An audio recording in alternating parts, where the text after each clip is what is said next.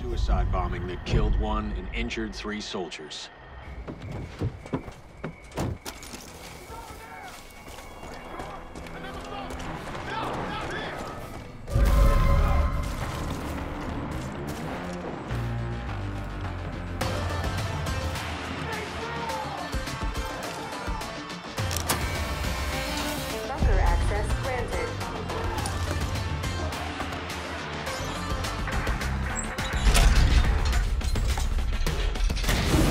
Countdown disengaged.